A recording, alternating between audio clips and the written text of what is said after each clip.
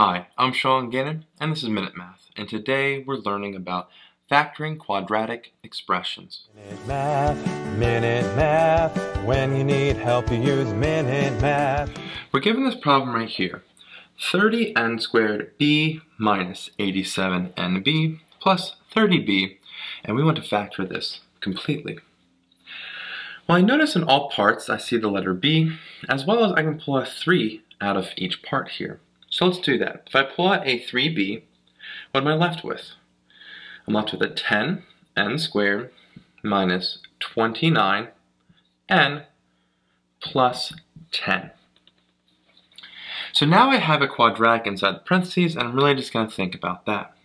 Our a value, well, here is 10, and our c value is also 10.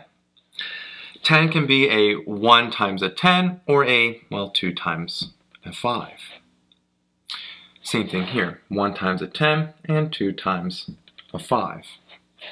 So our setup form is going to be two parentheses here when we factor. And we have one of these be the 1 of the 10 here, n, or 2 and 5, n. And same with the other one. Now one thing you should see is that the b value is negative. So the b value is negative and our c value is positive. That means both of these must be negative because that's the only way you have two negatives multiply, make it a positive 10, but then we're going to have them add to be a negative 29. So we can kind of test some values and I'm kind of jump ahead here. Let's use 2 and 5. So we have 2n and a 5n here, and that's going to be our base. So we want to think, does 2 times one of these numbers times 5 times the other number get us close, well, to 29? And actually we see that with our negative 2 and negative 5 here. 2 and this pair here.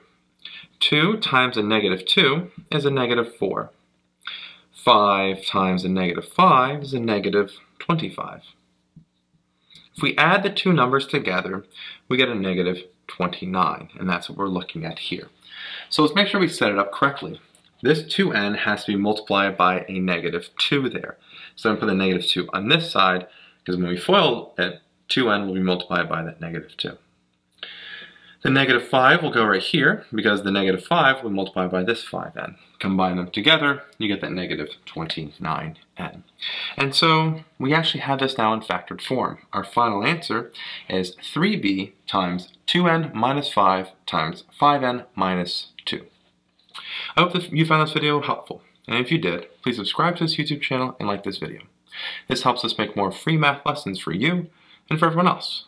So as always, thanks for watching. Minute Math, Minute Math, when you need help you use Minute Math.